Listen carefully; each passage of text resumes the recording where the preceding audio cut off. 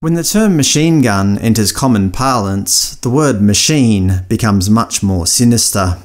Turkey will become the first country in the world to deploy military drones equipped with high-precision machine guns.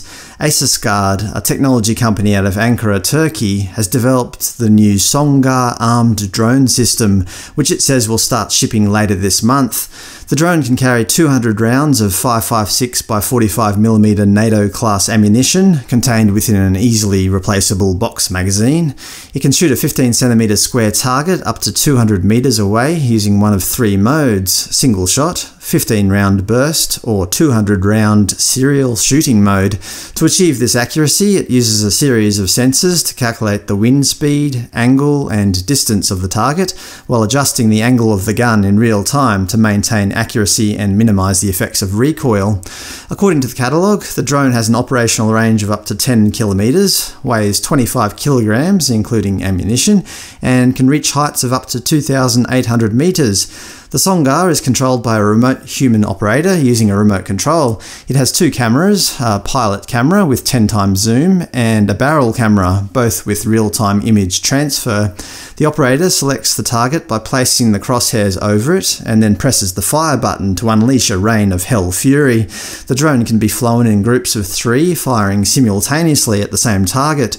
Night vision sensors allow for nighttime operations, and there's also an onboard GPS and image data recording for damage assessment after the shooting. There's no doubt that this machine is a killer. If it gets into the wrong hands, or even if it's in the right hands, it could be used as a powerful tool of violence and oppression by corrupt governments or terrorist organisations. Last year, thousands of organisations, as well as individual scientists, engineers, researchers and entrepreneurs, signed the Lethal Autonomous Weapons Pledge, organised by the Future of Life Institute. In it, they promised not to develop autonomous weaponry that is capable of making life-taking decisions. In the pledge it states, the decision to take a human life should never be delegated to a machine. There is a moral component to this position that we should not allow machines to make life-taking decisions for which others, or nobody, will be culpable.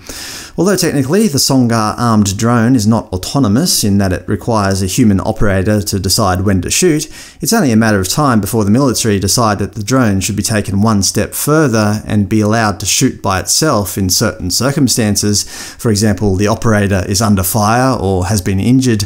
Either way, this machine is a dangerous development, and I imagine it won't be long before we have these things flying around our urban skies under the pretense of keeping us safe.